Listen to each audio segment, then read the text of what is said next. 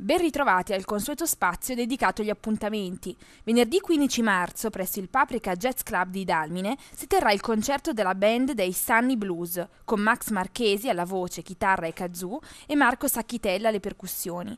Si tratta di un intrigante progetto acustico che nasce come musica da strada. Il costo dell'ingresso è di 5 euro.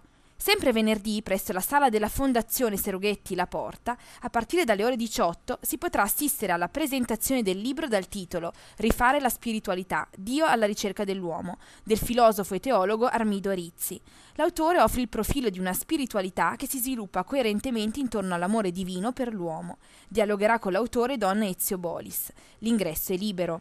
Gli appassionati di arte, sempre sabato, potranno partecipare all'inaugurazione della mostra dedicata ai dipinti di Bernardo Peruta, artista bergamasco che ha esposto in tutta Europa.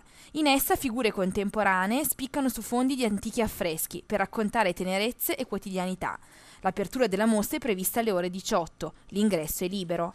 Sempre sabato, presso il Teatro Kreberg, alle 21, andrà in scena lo spettacolo teatrale dal titolo Il sosia di lui. Sul palco il comico emiliano Paolo Cevoli, nei panni del meccanico Pio Vivadio detto Nullo, racconta la sua riccione degli anni 30 e 40 tra politica, tradimenti, fasti e splendori. Si consiglia la prenotazione. E per finire, ancora sabato sera al Bopo di Ponte Ranica, a partire dalle 21.30, si potrà assistere a una serata di blues con la BB Band, che ripercorre le epiche gesta dei fratelli Jack e Elwood. L'ingresso è libero.